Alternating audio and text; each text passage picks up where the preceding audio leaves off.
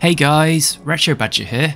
So in this video, we're going to put the Enterprise J refit up against the Borg Cube. Now this is the new, I suppose you can call it the refit refit, that's been released by Hexagonal Nexel, and it features new weapons, and it's more balanced basically. So yeah, I'm interested to see what it can do to a cube. So here we go. Right, okay. And one thing that fascinates me about Bridge Commander is that the older it gets, the nicer the mods look. It's like as computer power's increased, we're getting nicer looking ships. I think it's mainly down to the developers of the game. They made it so easy to mod for. So hats off to them. They kept this thing going really with that. Okay, so standard quantum's not much effect. It's regenerating.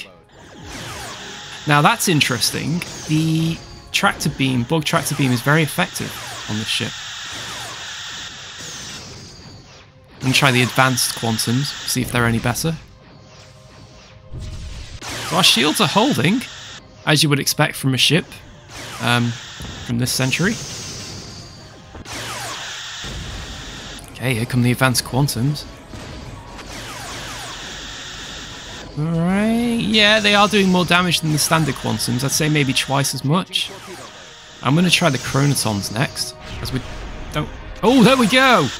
We don't quite have enough firepower with those advanced quantums. And there's the Doctor Who Disco Ball weapon.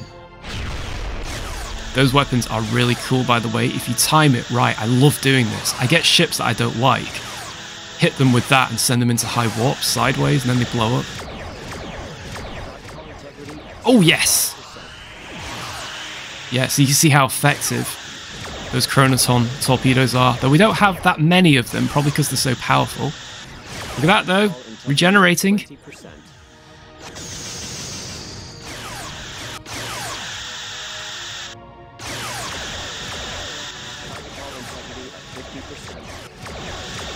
we go.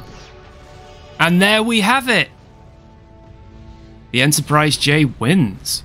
What a ship. I think that is definitely the best balanced version of that ship. Well, thanks for watching, guys. Bye for now.